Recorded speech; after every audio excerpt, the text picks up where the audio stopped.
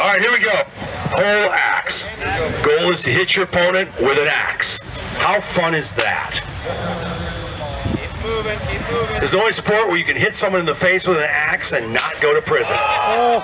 Big shot by Simon Rohrich. You see the kind of power that Simon is able to generate. Simon was on the television show Knight Fight. We had that.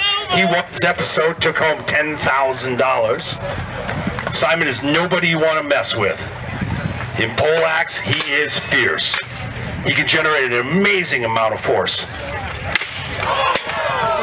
Keep moving, Gober. Keep as you're seeing. And let me tell you, he's got a helmet on, but you feel those. Other direction. Switch direction. I mean, I've seen guys pull these helmets out and spit out teeth. Simon coming in with another big shot, knocks the weapon out of his hand.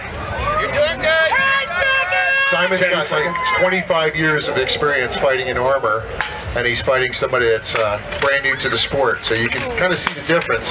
One is much younger than the other. As hard as they can swing, as you can tell. There you go, Gober. There you go. Simon being a little cautious there. Another good hit, though. I got a ton of respect for Gober, who's standing out there across from Simon right now.